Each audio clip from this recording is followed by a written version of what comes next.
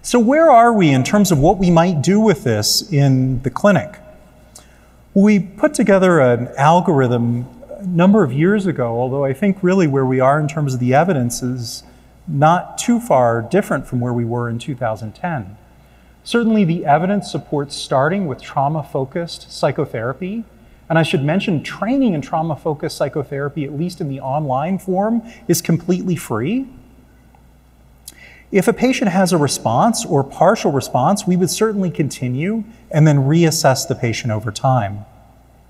However, in those patients who have failed to have a response, or that fairy tale ending that we hope we aspire to, to have for our patients, the evidence is really for three treatments.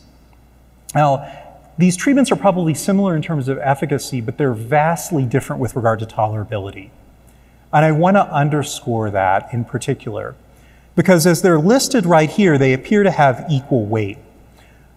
But from my standpoint as a clinician, I would far prefer to begin with an antiadrenergic agent, in this case, prazosin, for the treatment of PTSD based on the metabolic liability that we often see with the mixed dopamine serotonin receptor antagonists or the second generation antipsychotics.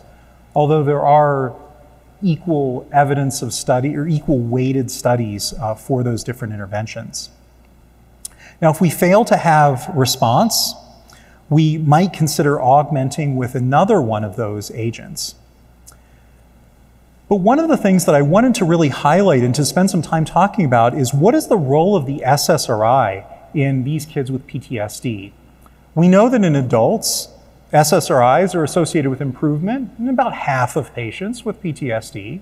We have two that have FDA approval for the treatment of PTSD, sertraline and fluoxetine.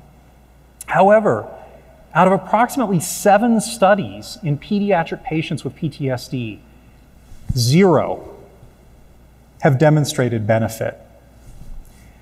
So again, in situations where I'm considering an SSRI, I'm really targeting co-occurring symptoms that may be perpetuating my post-traumatic stress symptoms or interfering with treatment.